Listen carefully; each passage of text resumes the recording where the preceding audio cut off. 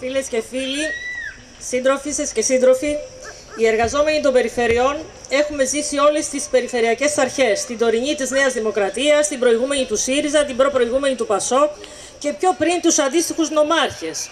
Έχουμε δει από κοντά όλες τις αναδιαρθρώσεις στο αστικό κράτος και τους ψευδεπίγραφους αυτοδιοικητικούς οργανισμούς.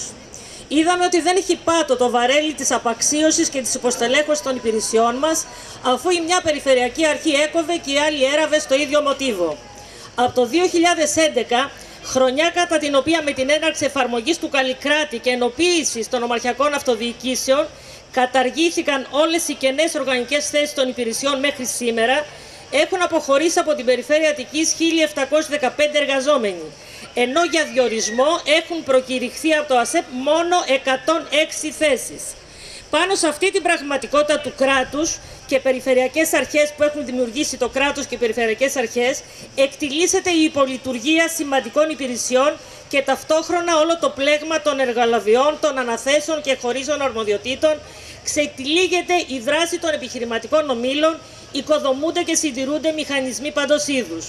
Αρκεί κάποιος να δει στο site της Περιφέρειας τις διακηρύξεις των διαγωνισμών, τις δημοπρατήσεις τεχνικών έργων, τις αναθέσεις και άλλα, για να καταλάβει γιατί έχουν αποψηλώσει τις υπηρεσίες και τις έχουν μετατρέψει σε γραφειοκρατικούς μηχανισμούς διοχέτευσης εκατομμυρίων στους επιχειρηματικούς ομίλους που λιμένονται τον υδρότα και τον πλούτο του λαού για την καθαριότητα και τη φύλαξη των κτηρίων, την καθαριότητα των πάρκων που έχει στην ευθύνη της περιφέρεια για τη συντήρηση του πρασίνου.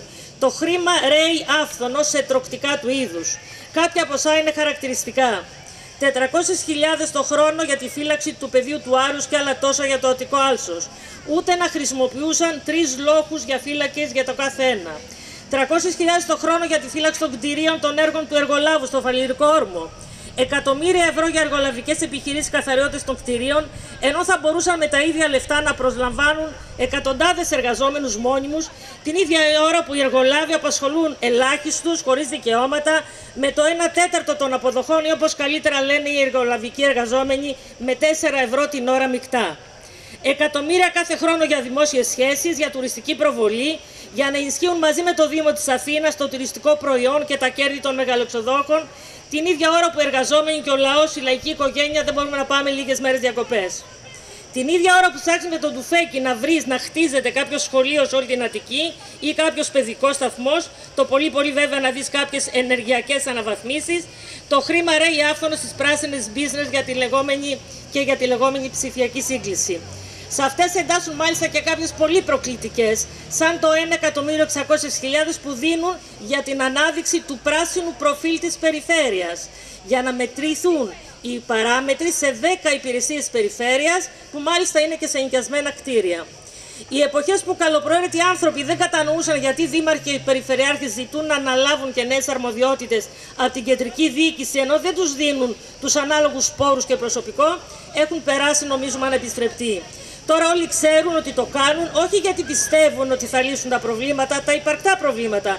Παραδείγματος χάρη στην υγεία, που επανειλημμένα η διοίκηση των περιφερειαρχών ζητάει να αναλάβει, αλλά γιατί υπηρετούν συνειδητά την πολιτική των ιδιωτικοποιήσεων και της ανταποδοτικότητας βασικών υπηρεσιών, που για να περνά όσο γίνεται πιο ανέμακτα, χρειάζεται τους μηχανισμούς χειραγώγησης και μοιράσματος αυταποτών της τοπικής διοίκησης.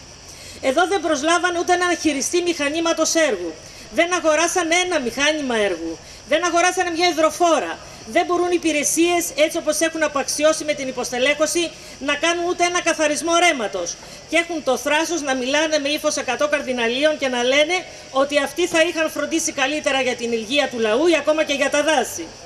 Η στελέχωση των υπηρεσιών της πολιτικής προστασίας και της διαχείρισης των μητροπολιτικών υποδομών, δηλαδή δύο εμπλεκόμενων υπηρεσιών για την προστασία του λαού, είναι μικρότερη από το 50%. Σε δε κρίσιμες ειδικότητες όπως αυτή των χειριστών μηχανημάτων, τα κενά είναι 80% και πλέον. Η περιφέρεια διαθέτει τρία μηχανήματα για αποχιονισμό, την ώρα που κάθε φορά σε ανάλογα φαινόμενα είναι αναγκαίο να χρησιμοποιεί 100-110 μηχανήματα εργολάβων, τα περισσότερα βέβαια τα χρησιμοποιεί μέσα από αναθέσεις. Θυμόμαστε όλοι τα δελτία τύπου της Περιφερειακής Αρχής Πατούλη με τις σχετικές φωτογραφίες των υπερσύγχρονων πανέτοιμων μηχανημάτων αποχιονισμού που μέσα σε 24 ώρες στη θέση τους πήραν οι κλεισμένοι δρόμοι και η κλεισμένη Αττική Κι όμως η περιφέρεια Αττικής πλήρωσε για εκείνες τις μέρες αρκετά εκατομμύρια. Μόνο για το 2020 η πολιτική προστασία σε εργολάβους έδωσε πάνω από 7 εκατομμύρια. Το 2021 μόνο για τη μύδια, το φαινόμενο της μύδιας όπως ονομάστηκε, πάνω από 6 εκατομμύρια. Αλλά για αυτούς αυτό είναι πολιτική προστασία.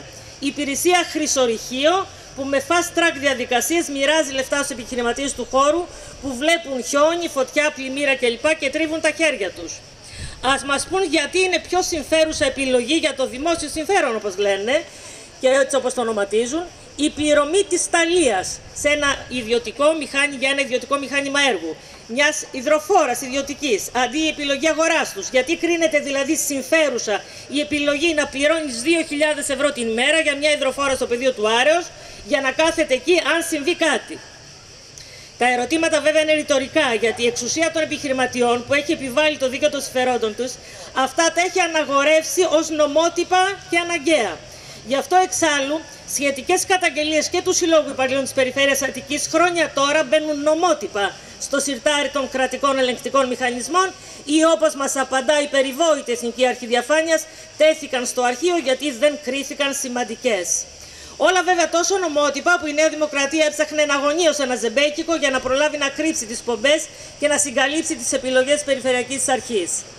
Οι επιλογές των περιφερειακών αρχών όλων των αστικών κομμάτων είναι αρκετά ενδεικτικές για το ποιον υπηρετούν και σε άλλα ζητήματα εκτός των κεντρικών. Χρηματοδοτούν παραδείγματος χάρη τον τομέα, στον τομέα της οδικής ασφάλειας την αγορά περιπολικών της αστυνομίας. Αλλά όχι οχήματα και μηχανικό εξοπλισμό για να μπορεί να γίνονται οι εργασίες συντήρησης και επίβλεψης των οδικών αξώνων από τις υπηρεσίες περιφέρειας. Δίνουν εκατομμύρια σε διάφορες εταιρείες για να συμβουλεύουν τις τεχνικές υπηρεσίες. Εκατομμύρια αντί να προσλάβουν προσωπικό.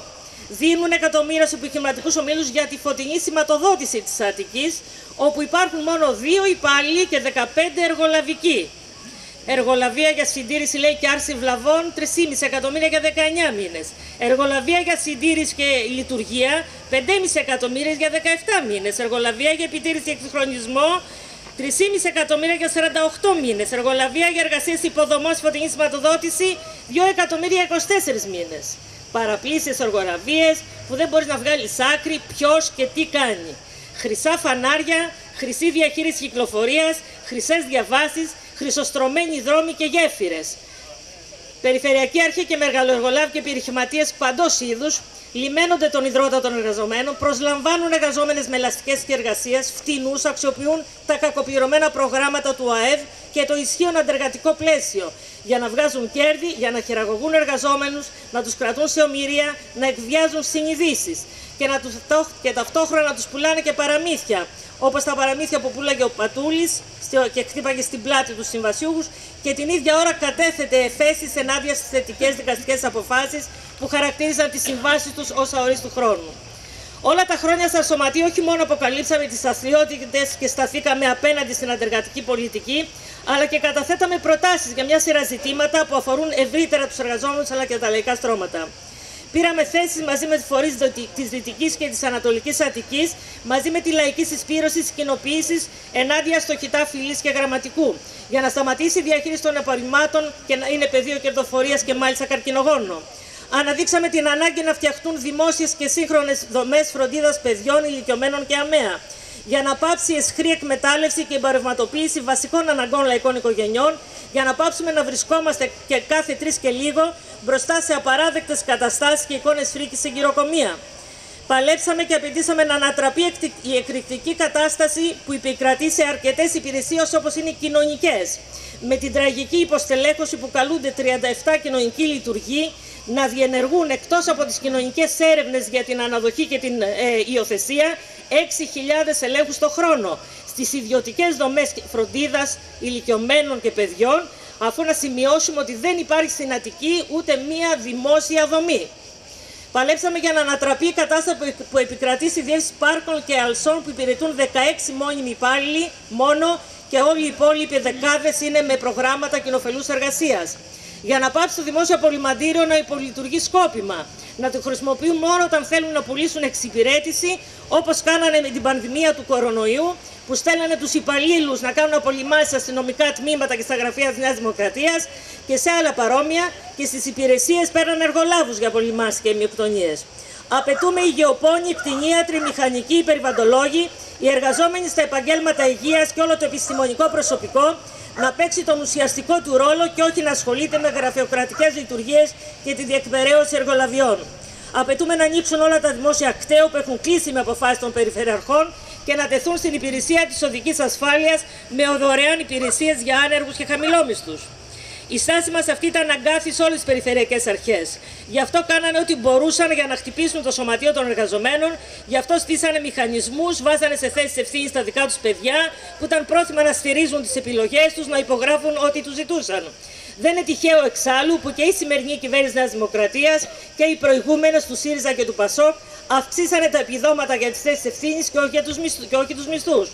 Νομοθετήσανε την αντιδραστική αξιολόγηση, φτιάξανε φωτογραφικό πλαίσιο επιλογής για τις θέσεις ευθύνης, αλλά παρόλα αυτά οι περιφερειακές αρχές συνεχίζουν να αναθέτουν σε όποιον θέλουν καθήκοντα προϊσταμένου και διευθυντή, χωρίς καμιά διαδικασία, για να τους έχουν όλους όσο γίνεται πιο πολύ στο χέρι, να είναι πιο εύκολα χειραγωγήσιμοι.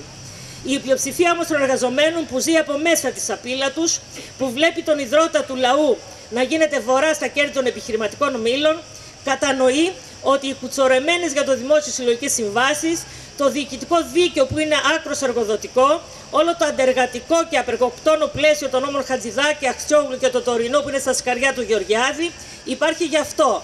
Για να διασφαλίζουν κράτος, περιφέρειες και δήμοι την καπιταλιστική ανάπτυξη, την κερδοφορία και την ανταγωνιστικότητα των ομίλων. Συνεχίζουμε με τις ταξικές δυνάμεις στο σωματείο, με τη λαϊκή συσπήρωση και το κουκουέ δυνατά για τις ανάγκες των πολλών και όχι για τα κέρδη των λίγων. Και δεν ξεχνάμε ότι η λαϊκή συσπήρωση και το Κομμουνιστικό Κόμμα Ελλάδας στήριξαν τα αιτήματά μας μέσα και έξω από το Περιφερειακό Συμβούλιο, μέσα και έξω από τη Βουλή. Στάθηκαν μαζί με τους εργαζόμενους απέναντι στις απειλές, στον αυταρχισμό που περίσσευε στην καθημερινή λειτουργία των υπηρεσιών. Καλή δύναμη σε όλους μας στον αγώνα που έχουμε μπροστά μας.